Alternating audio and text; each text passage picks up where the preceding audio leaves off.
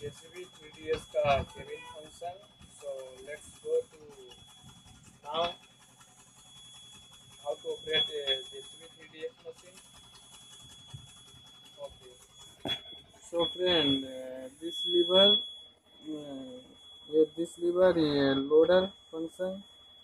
yeah, push uh, down push forward to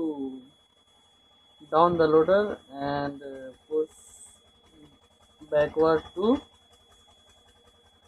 upward the loader and yeah, push